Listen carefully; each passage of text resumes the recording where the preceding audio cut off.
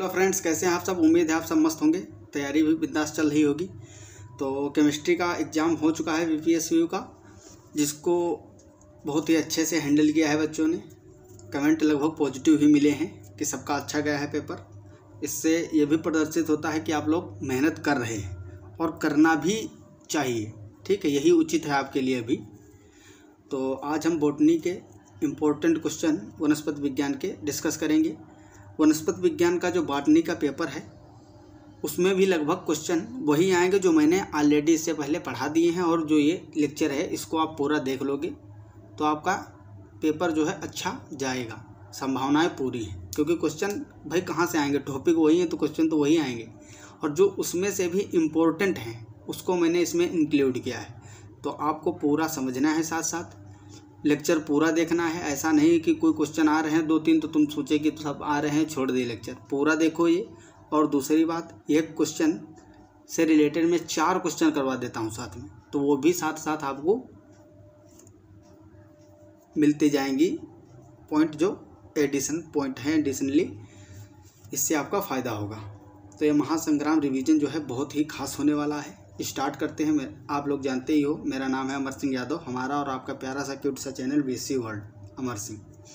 पहला क्वेश्चन है इसका, the reserve food in the yeast is present in the form of yeast कोशिका में संचित भोज्य पदार्थ जो होता है, भोजन किस रूप में होता है? प्रोटीन के रूप में, स्टार्च के रूप में कार्बोहाइड्रेट या oil and oil and glycogen तो इसमें ईस्ट सेल जो होती है इसमें ऑयल एंड ग्लाइकोजन के रूप में भोज्य पदार्थ संचित रहता है। अब ग्लाइकोजन आप देख रहे हो तो इससे आपको पता चल रहा होगा। हम लोग जो हैं ह्यूमन बॉडी में भी जो फ़ूड होता है, वो किसके रूप में रिज़र्व फ़ूड मटेरियल के जैसे रिज़र्व रहता है?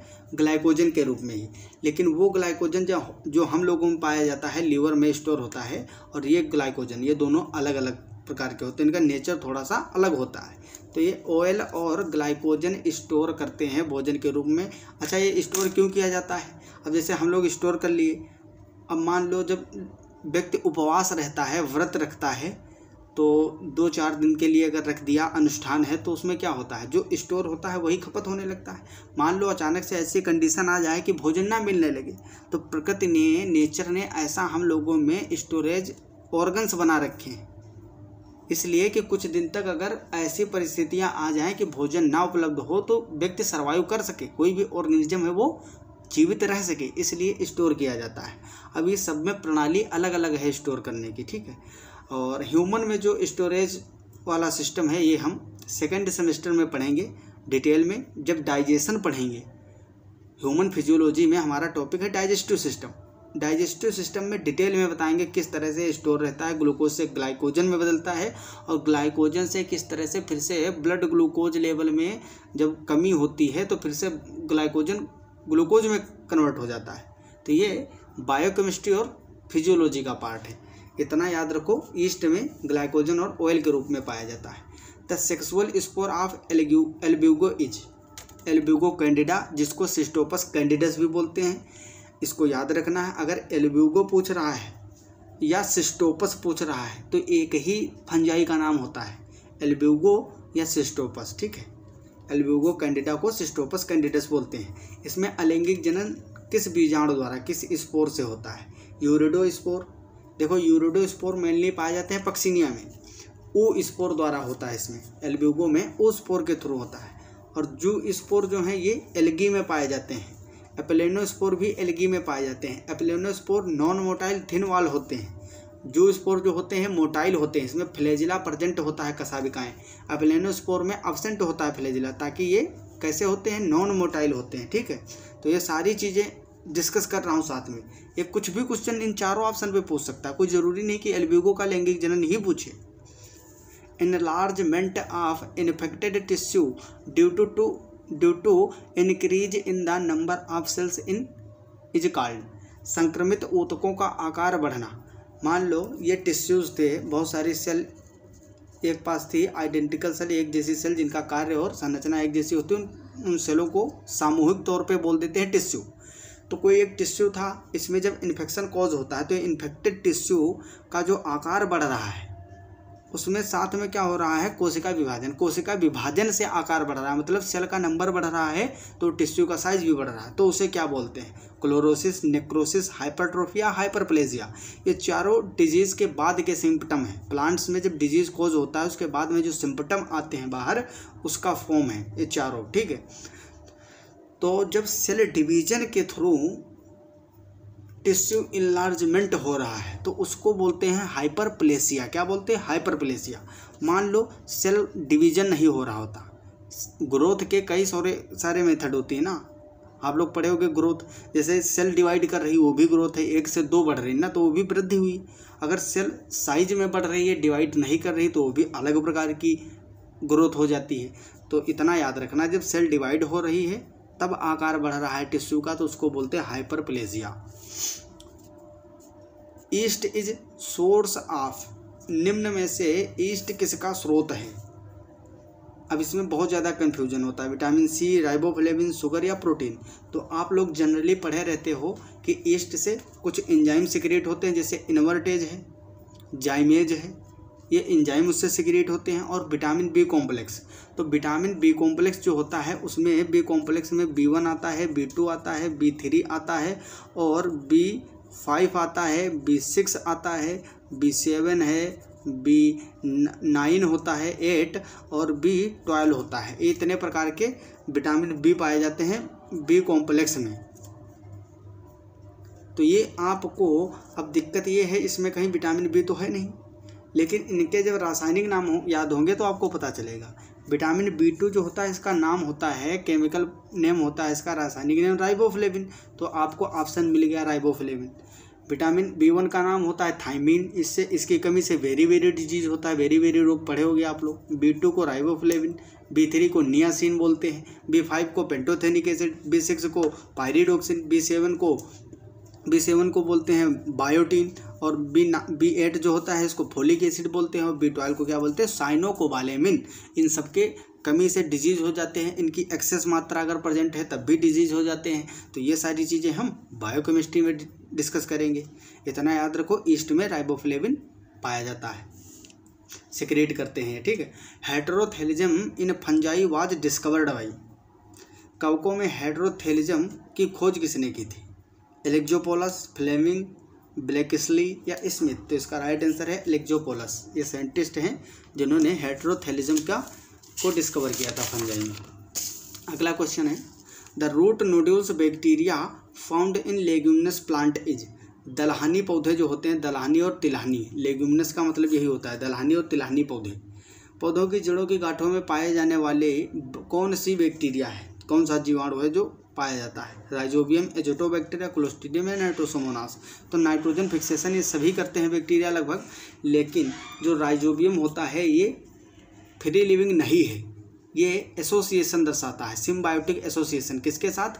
जो हाइयर प्लांट है लेगुमिनस प्लांट उनकी जो जड़ें होती हैं, उसमें रूट नोड्यूल फॉर्म करके नाइट्रोजन को फिक्स करता है। वायुमंडलीय नाइट्रोजन जो है एटमोस्फेरिक यंटो मोलिकुलर नाइट्रोजन को नाइट्रेट आयन में कन्वर्ट करता है, जिसको प्लांट सीधे एब्जॉर्ब कर लेते हैं। The fertile layer of gill of agaricus is called as agaricus के गिल में पाए जाने वाले उपजाऊ स्तरों को क्या कहते हैं? कोरोटेक्स मेड्यूला हाइमेनियम या फिर वेलम। तो इसका राइट आंसर है हाइमेनम हाइमेनियम। हाइमेन नहीं है। हाइमेन क्या होती है? हाइमेन तो वेजाइना की परत होती है।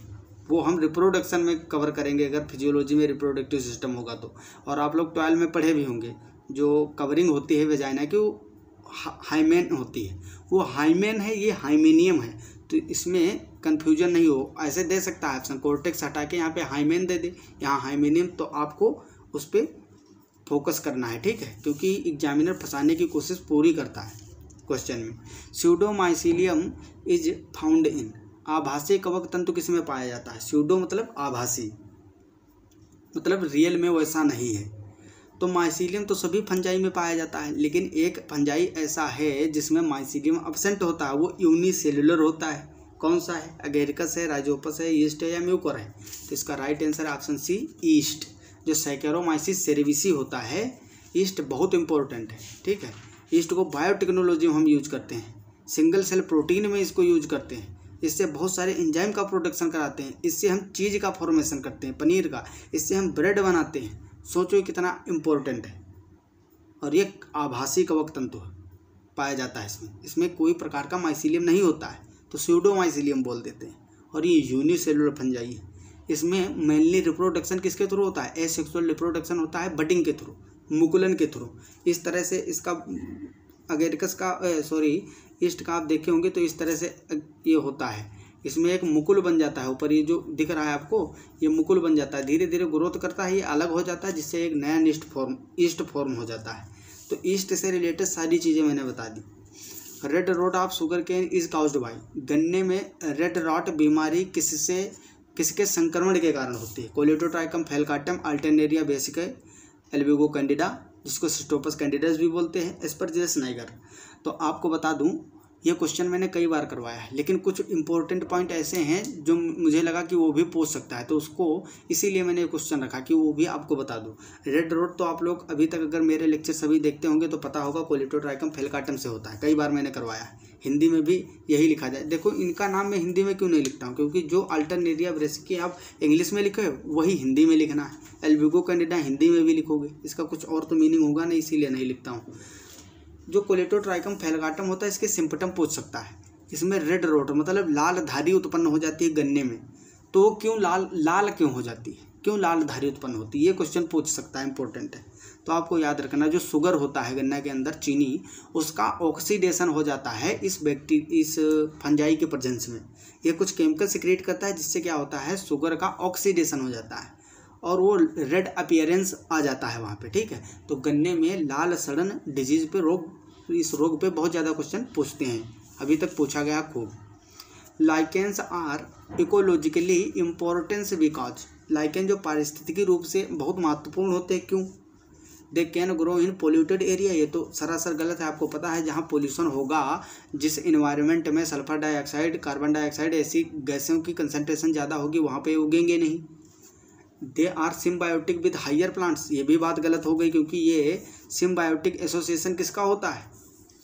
एल्केन जो हैं लाइकेन जो हैं सॉरी एल्केन लाइकेन सेवाल और फंजाई कवक और फंजाई के बीच का, कवक और सेवाल के बीच का क्या होते हैं? सिम्बायोटिक एसोसिएशन तो उसमें कोई हाइयर प्लांट तो है नहीं तो ये भी गलत हो गया। They form pioneer vegetation in in lithosere वे चट्टानों पर आरंभी वनस्पत होते हैं। ये सही है इसका राइट आंसर है। क्योंकि जब चट्टानें होती हैं, चट्टानों से धीरे धीरे हम जो मिट्टी में वो कन्वर्ट होती हैं तो उसमें बहुत सारे अनुक्रमण होते हैं। आप लोग पढ़े होंगे अनुक्रमण, पारिस्थितिक अनुक्रमण, जलीय अनुक्रमण, ये सारी चीज़ें कक्षा बारह में हैं ट्वेल्थ में। पारिस्थितिकी तंत्र अगर पढ़े होंगे आप लोग और सब कोरोना में ऐसे ही पास होके आए हैं मैक्सिमम बच्चे जो पढ़ने वाले होंगे, वही खुद से पढ़ते होंगे, बाकी क्लासें ही नहीं चली। तो आप लोग जिस जि, जिसने भी पढ़ा होगा उसको पता होगा अनुक्रमण में।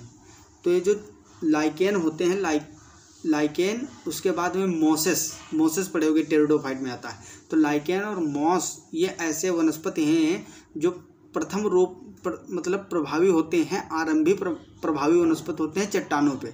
चट्टानों को धीरे धीरे तोड़ते रहते हैं जब उस पर उगते हैं फिर उसके बाद में जब थोड़ा थोड़ा भुरभुरी मिट्टी होने लगती है तो उसमें छोटे छोटे प्लांट्स उगने लगते हैं, घास फूस। उसके बाद में और ज़्यादा जब अच्छी होने लगती है मिट्टी, उसमें बैक्टीरिया भी ग्रो करने लगते हैं, उसको डीकम्पोज करते हैं, फिर धीरे धीरे नए नए बड़े बड़े प्लांट उस पर ग्रो होने लगते हैं। तो इस तरह से चट्टान को भूमि में परिवर्तित करते हैं। कोई ऐसी जगह जहाँ पे किसी भी प्रकार के ऑर्गेनिज्म ग्रो नहीं करते थे वहाँ पे ऑर्गेनिज्म ग्रो करने लगे उसको अनुकरण बोलते हैं। प्रा, प्राथमिक अनुकरण होता है जिसको प्राइमरी अनुक्रमण बोलते हैं और सेकेंडरी अनुक्रमण द्वितीयक अनुक्रमण मतलब ऐसी जगह जहाँ पे कभी जीवन में इससे पहले कभी ऑर्गेनिज्म कोई था ही नहीं कोई लाइफ थी ही नहीं और फ़र्स्ट टाइम आई तो उसको प्राथमिक बोलेंगे। द्वितीयक मतलब कभी उस पर ऑर्गेनिज्म ग्रो करते थे लेकिन किसी कारण बस उथल पुथल हो गई ठीक है वॉल्केनिक इलेप्शन हुए कुछ भी हुआ तो उसमें क्या हुआ? वो दब गए सब, जीव मारे गए। तो कई सालों तक, हज़ारों सालों तक वहाँ कोई ऑर्गेनिज्म नहीं था। दोबारा से फिर से वहाँ ग्रो कर गए तो उसको बोलते द्वितीय अनुक्रमण। तो ये सारी चीज़ें भी लाइकेन से संबंधित आपसे पूछी जा सकती हैं। और बहुत इंपॉर्टेंट है, आपको जानना भी चाहिए। जो नीट की प्रिपरेशन करते होंगे, उनके लिए बहुत ज़्यादा इंपॉर्टेंट है। The multinucleate aseptate hyphae is called as बहुकेंद्र की पटरहित कवक तंतु को क्या कहते हैं?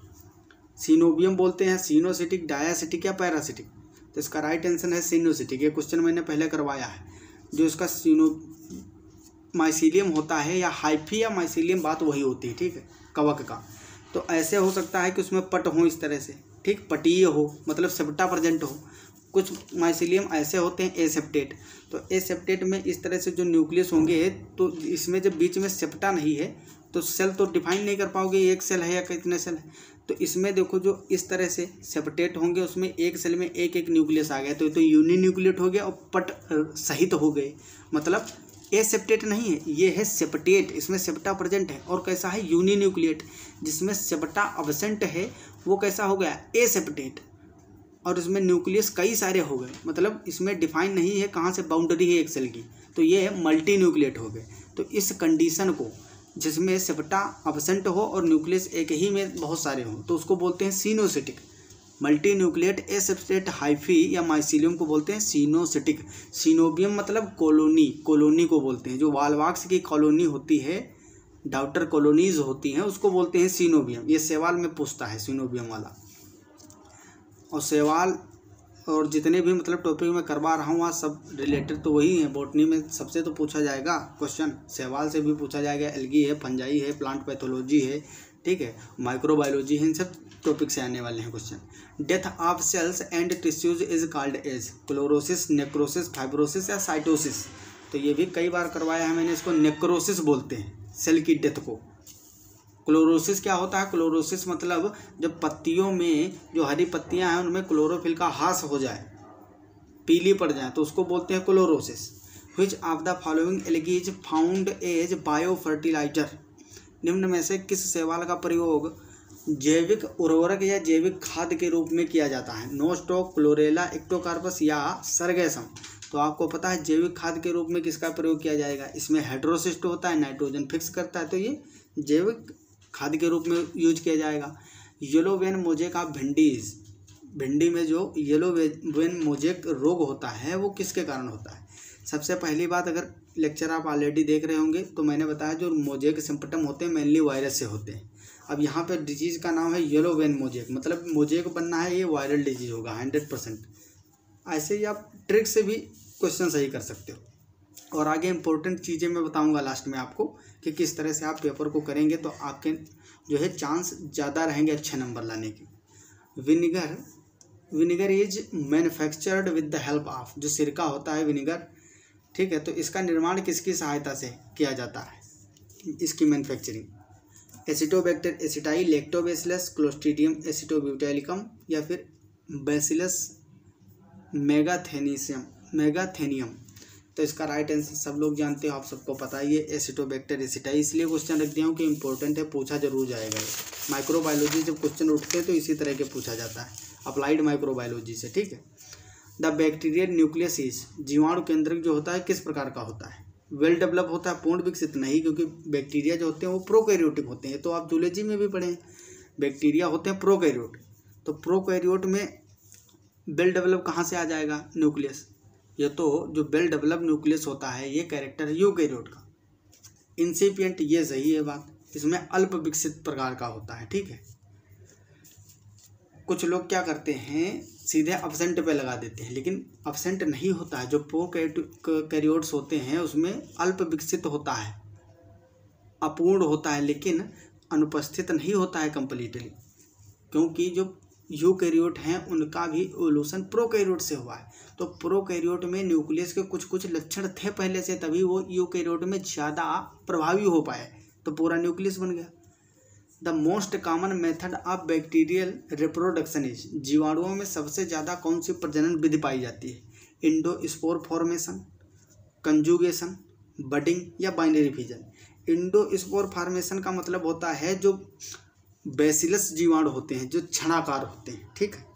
क्षणाकार जीवाणु, आप एन अगर पढ़े होंगे एलेवन ट्वेल्थ की तो उसमें इस तरह से बनाया हुआ है, बीच में एक बीजाणु बनाया हुआ है, ऐसे। तो इसको बोलते हैं इंडोस्पोर मतलब इसके अंदर बनना है। इसके बाहर अगर ऐसे ऐसे बनते तो उसको इग्जोस्पोर बोलते हैं। इसको इंडोस्पोर बोलते हैं। तो इंडोस्पोर फार्मेशन से भी रिप्रोडक्शन होता है, लेकिन मेनली नहीं पाया जाता। है इसमें पूछा सबसे ज़्यादा। कंजुगेशन मतलब संयुग्मन। दो बैक्टीरिया इस तरह से पास पास आएँगे, उसमें जेनेटिक मटेरियल का एक्सचेंज हो जाएगा। मुकुलन मुकुलन मतलब एक बैक्टीरिया था, इसके ऊपर एक बड बन गया, मुकुल बन गया, और ये धीरे धीरे ग्रोथ करके अलग हो गया, उससे नया बैक्टीरिया बन गया। दो विभाजन ये इसमें क्या होता है, एक बैक्टीरिया से इस तरह से दो बैक्टीरिया फिर इससे भी दो बैक्टीरिया इस तरह से ये विभाजित होते रहते इसको बोलते हैं बाइनरी विजन ये कॉमन मेथड है किसकी? रिप्रोडक्शन की बैक्टीरिया में।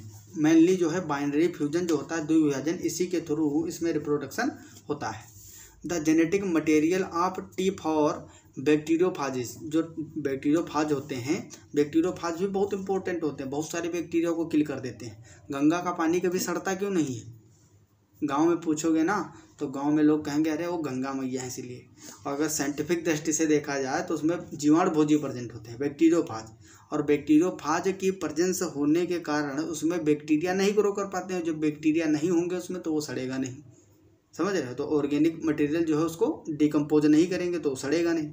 तो इस तरह से कुछ इसका कंसेप्ट होता है। टी फोर जो जीवाणु भोजी होता है, इसमें आनुवंशिक पदार्थ जो है जेनेटिक मटेरियल क्या होता है? डबल स्टैंडर्ड डीएनए होता है। सिंगल स्टैंडर्ड आरएनए किसमें पाया जाता है? टीएमबी वायरस में। याद रखना, बहुत इंपॉर्टेंट है। ये जो है सिंगल स्टैंडर्ड आरएनए, ये पाया जाता है टीएमबी वायरस में, टोबैको मोजेक वायरस में। अब मेनली जितने भी प्लांट वायरस होते हैं, उसमें सिंगल स्टैंडर्ड आरएनए ही पाया जाता है। और जीवाणु भोजी जो है, टी फोर, जीवाणु भोजी और लेमडा फाज भी ज़्यादातर पूछा जाता है। तो इसमें पाया जाता है double stranded DNA. Bacterial cell having a tuft a flagella at one end is called as. ऐसे जीवाणु जो अंत पर कसाविका का गुच्छा रखते हैं, उसको क्या बोलते हैं? मोनोट्राइकस एम्पीट्राइकस पेरियोट्राइकस या फिर एट्राइकस एट्राइकस का मतलब ऐसा बैक्टीरिया जिसमें फ्लेजिला हो ही मत, एक भी फ्लेजिला ना हो। पेरीट्राइकस का मतलब इसके चारों ओर जितना भी सरफेस है, बाह्य सरफेस चारों ओर सिमेट्रिकली डिवाइड हो फ्लेजिला बहुत सारे। एम्फीट्राइकस का मतलब होता है, इधर भी गुच्छे में प्रेजेंट हो और इधर भी गुच्छे में फ्लेजिला प्रेजेंट हो। मोनोट्राइकस का मतलब होता है, क्या होता है? कि एक ही और इस तरह से फ्लेजिला प्रेजेंट हो। तो इसका राइट आंसर होगा। इसमें पूछा है bacteria cell having a tuft a flagella at one end मतलब एक इंड पे। तो इसको बोलते हैं मोनोट्राइकस अब इन चारों में से कोई भी पूछ ले, आप आराम से कर लोगे। आसान चीज़ है। डायग्राम से बताया तो अच्छे से समझ भी आ गया होगा। Little leaf of brinjal is caused by ये भी कई बार मैंने क्वेश्चन करवाया, बहुत इंपॉर्टेंट है। इसके सिम्पटम भी पूछ सकता है, ये भी पूछ सकता है कि ये इसके कारण क्या दिक्कत हो जाती है, क्या सिम्पटम आ जाते हैं पौधे में जो बैंगन का पौधा होता है। जो बैंगन की छोटी पत्ती बीमारी है, ये मेनली फाइटोप्लाज्मा से होती है। माइकोप्लाज्मा भी लिखा मिल सकता है यहाँ। फाइटोप्लाज्मा की जगह पे माइकोप्लाज्मा भी मिल सकता है। क्योंकि जब प्लांट में डिज़ीज़ कोज करता है माइकोप्लाज्मा तो उसको फाइटोप्लाज्मा बोल देते हैं। और दूसरी बात याद रखना है, इसके सिम्पटम क्या होते हैं? पौधा सूखने लगता है। फल बहुत छोटे आने लगते हैं, क्योंकि जब लीफ का सरफेस घट जाएगा, छोटी पत्ती हो जाएगी। एक इतनी बड़ी पत्ती थी मान लो, बैंगन की, और एक दूसरी पत्ती इतनी बड़ी हो गई। तो इसमें क्या डिफरेंस होगा? ये फोटोसिंथेसिस ज़्यादा करेगी सरफेस एरिया ज़्यादा है लाइट जो इस पर फॉल करेगी, वो उसका मात्रा अमाउंट ज़्यादा होगी, और इस पर जो फॉल करेगी, उसका कम होगा। सरफेस एरिया छोटा है फोटोसिंथेसिस में ज़्यादा है तो इसमें फल बड़े लगेंगे। इसमें ऊर्जा होगी प्लांट में, हरा भरा रहेगा। तो ये सारे सिम्पटम हो सकते हैं। अब आपको खुद हिंट दे रहा है क्वेश्चन कि छोटी पत्ती डिज़ीज़ अब इतना तो कॉमन सेंस आप भी लगाओगे ना? तो इस तरह से अपने आप भी इसका आंसर आप ढूंढ सकते हो। Saccharomyces cerevisiae is use in Saccharomyces cerevisiae जिसको ईस्ट बोलते हैं। क्या बोलते हैं? ईस्ट। ईस्ट की बात की जा रही है। इसका प्रयोग कहाँ किया जाता है? बेकरी इंडस्ट्री में? Production of alcohol production of enzymes. Bread बनाने में, ठीक है, बेकरी और ब्रेवरी। एल्कोहल प्रोडक्शन, शुगर से एल्कोहल का प्रोडक्शन भी जो फर्मेंटेशन होता है, भी सेक्रोमाइसिस सेरेविसी ईस्ट के थ्रू कर सकते हैं। एंजाइम्स इन्वर्टेज है जाइमेज है, सारे एंजाइम का प्रोडक्शन भी सेक्रोमाइसिस सेरेविसी से आसानी से कर सकते हैं। तो इसमें ऑल ऑफ़ द एबव सही हो जाएगा। Aflatoxin is produced by aflatoxin का निर्माण किसके द्वारा किया जाता है? अफलाटॉक्सिन से एस्परजिलोसिस होता है डिज़ीज़ अफ्लाटोक्सिन एक प्रकार का टोक्सिन है, ठीक है? जिससे एस्परजिलोसिस डिज़ीज़ हो जाता है। ये एस्परजिलस फ्लेवियस के थ्रू प्रोड्यूस किया जाता है। Which of the following is correct sequence of the process found during sexual reproduction in fungi जो कवक होते हैं, कवकों में जो प्रजनन होता है, लैंगिक प्रजनन, उसका क्रम बताना है कि उसमें कौन कौन सी स्टेज आती हैं किस क्रम में आती हैं। कैरियोगेमी, पहले इनका मतलब बता दूँ। कैरियोगेमी का मतलब होता है न्यूक्लियर डिवीज़न, जो जेनेटिक मटेरियल है, उसके डिवीज़न को बोलते हैं कैरियोगेमी। प्लाज्मोगेमी मतलब उसका जो साइटोप्लाज्म है या प्लाज्म है, वो डिवाइड कर रहा है। और म्योसिस माइटोसिस आप जानते ही हो, अर्धसूत्री समसूत्री विभाजन, ठीक है? तो इसमें सबसे पहले प्लाज्मा जो होता है, साइटोप्लाज्म होता है, वो डिवाइड करता है। उसके साथ साथ कैरियोगेमी भी होती है केंद्र डिवीज़न, विभाजन भी होता है। तो सबसे पहले प्लाज्मोगेमी होगा, फिर बाद में कैरियोगेमी होगा, उसके बाद में म्यूसिस होगा तो इसका राइट आंसर है ऑप्शन सी रोड से बैक्टीरिया आर कार्ड एज अब ये मैंने क्वेश्चन करवाया है, लेकिन इसलिए करवा रहा हूँ कि आपका रिवीजन भी हो जाए और चारों के बारे में मैं बता दूँ ऑप्शन के बारे में। जो छड़ी नुमा होते हैं, छड़ाकार बैक्टीरिया होते हैं, उनको क्या कहते हैं? उनको कहते हैं बेसिलस ठीक है? हिंदी में भी बेसिलस बोलते हैं। कोकस मतलब जो राउंड शेप में होते हैं बैक्टीरिया स्पाइरिलम मतलब इस तरह से सांप के जैसे होंगे। सपौ देखे साफ़ साफ़ साफ़ इस तरह से होते हैं। और विब्रियो मतलब कामा के आकार के, ठीक? तो ये किसी का भी सेप पूछ सकता है। चारों इम्पोर्टेंट है। सेप इसका आना चाहिए आपको। Which of the following statement is correct about the virus virus के बारे में निम्न में से कौन सा तथ्य सही है? They are nucleoprotein nucleoprotein के बने होते हैं, आपको पता ही है। They can multiply only in host cell. तो आपको ये भी पता होगा जो वायरस होते हैं, सजीव और निर्जीव के बीच बीच की कड़ी होते हैं। लिविंग और नॉन लिविंग के बीच के कड़ी होते हैं। क्यों? ये जब किसी होस्ट के, किसी ऑर्गेनिज्म के बाहर होते हैं, जब इन्वायरमेंट में तो ये नॉन लिविंग के जैसे बिहेव करते हैं। जब किसी ऑर्गेनिज्म के अंदर घुस जाते हैं तब ये एक्टिव हो जाते हैं। क्योंकि जो होस्ट की मशीनरी होती है उसको यूज़ करके ये रिप्रोड्यूस करते हैं। इनके पास खुद की कोई मशीनरी नहीं होती। तो they ah, they can multiply only in host से। ये भी बात सही है। दे कैन बी क्रिस्टलाइज्ड इसका क्रिस्टलीकरण तो आपको पता ही होगा स्टेनली मिलर ने किया था। तो मिलर ने सन 1935 में क्रिस्टलाइजेशन किया था वायरस का। रवेदार बनाया था वायरस को। और किस वायरस को बनाया था? T M B virus. किसको? टी एम बी वायरस को बनाया था। ये भी याद रखना है, क्योंकि वायरस वायरस का पार्ट है ना टी एम बी भी पढ़ना था आपको सिलेबस में। मैंने पढ़ाया भी है डिटेल में। तो इसका राइट आंसर होगा option D all of the above. Which of the following is an unicellular fungi इससे पहले बताया था सेकेरोमाइसिस होता है, जिसको ईस्ट बोलते हो। ठीक yeast saccharomyces cerevisiae non motile thin walled spore of algae are called as ये भी, भी मैंने पहले ही डिस्कस कर दिया था स्टार्टिंग में ही। जो सेवाल पतली कोशिका भित्त वाले और अचल बीजाणु होते हैं उसको क्या बोलते हैं? अपलेनोस्पोर बताया था? ये नॉन मोटाइल होते हैं इसमें फ्लेजिला अपसेंट होता है कसाभिका जो स्पोर में होते हैं। Gram stain is used to identify gram stain पूछा है। ग्राम अभिरंजक का प्रयोग किसको पहचानने में किया जाता है? जनरली जो स्टेनिंग होती है, वो किसी भी ऑर्गेनिज्म की स्टेनिंग करो, किसी भी चीज़ की स्टेनिंग करो, उसको स्टेनिंग ही बोलते हैं। लेकिन जब खास कर आप बैक्टीरिया बैक्टीरिया की स्टेनिंग करते हैं तो उसको ग्राम स्टेनिंग बोला जाता है। उसमें ग्राम लगा दिया जाता है। क्यों? क्योंकि इसको क्रिश्चियन ग्राम साइंटिस्ट ने डिस्कवर किया था। इसलिए इसको ग्राम स्टेनिंग बोलते हैं। तो ओनली बैक्टीरिया के स्टेनिंग की जब बात करोगे तो उसमें ग्राम स्टेनिंग लगा दिया जाता है। और इसकी स्टेनिंग निगे, ग्राम निगेटिव ग्राम पॉजिटिव की प्रोसेस सेम होता है। लेकिन जो ग्राम पॉजिटिव होता है, उसमें लास्ट में एक केमिकल ज़्यादा यूज़ किया जाता है। बाकी सारे प्रोसेस पूरा होता है एक जैसे। आपको पता ही होगा, इसमें मोर्डेंट के रूप में क्या यूज़ किया जाता है डीकलराइजेशन के लिए क्या यूज़ किया जाता है, सारी चीज़ें मैं पहले डिस्कस कर चुका हूँ।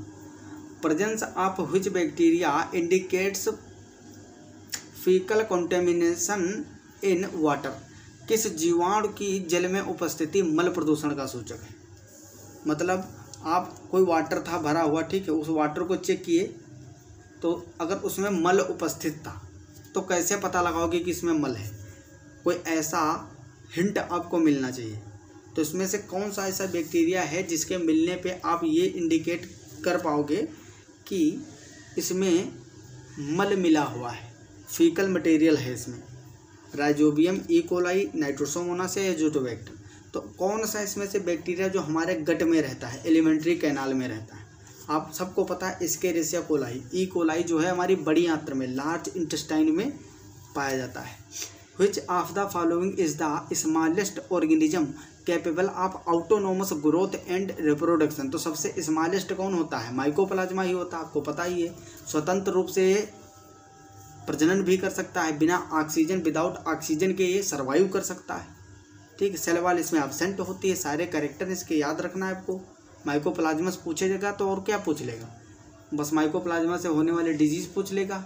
प्लांट में बताया ही था, लिटिल लीफ आप ब्रिंजल पूछ लेता है ज़्यादातर फाइटोप्लाज्मा या माइकोप्लाज्मा से। और ये सबसे सूक्ष्म होते हैं, माइक्रोस्कोपिक होते हैं, स्मॉलेस्ट ऑर्गेनिज्म है। विदाउट ऑक्सीजन के सर्वाइव कर सकते हैं, सेल वाला अपसेंट होती है। इतनी चीज़ें काफ़ी इसके बारे में। यहीं से पूछेगा क्वेश्चन और क्या पूछेगा? Which of the following pigment is found in Phaeophyceae Phaeophyceae जो है ब्राउन एल्गी हैं। भूरे सवाल इसमें कौन सा हरित लवक पाया जाता है? मैंने आपको बताया था, बिटा, जो क्लोरोफिल ए होता है, ये हर जगह कॉमन है। उसके बाद में जब बात करोगे क्लोरोफिल बी की तो ये क्लोरोफाइसी हो जाएगा। सी की बात करोगे तो फ्योफाइसी हो जाएगा। डी की बात करोगे, रोडोफाइसी हो जाएगा। लाल सेवाल हो जाएँगे। और ई e की बात करोगे तो इसमें कई सारे जंथोफाइसी जो होता है, उसमें भी होता है। तो राइट आंसर होगा बी क्योंकि फ्योफाइसी में ए के साथ सी प्रेजेंट होता है। Heterotrichous habit habits is found in दो बार हैबिट्स हो गया। हाइड्रोट्राइकस हैबिट किसमें पाई जाती है? हेट्रोट्राइकस का मतलब होता है दो प्रकार की हैबिट। हैबिट मतलब आवास, किस तरह का है उसका? तो जनरली जो इक्टोकार्पस होता है हेट्रोट्राइकस होता है। नीचे इसका प्रोस्टेट होता है कुछ, और ऊपर एरियल भी होता है, ठीक है? तो इसमें दो सिस्टम होते हैं, एरियल सिस्टम होता है और प्रोस्टेट सिस्टम, इसको बोलते हैं heterotrichous type.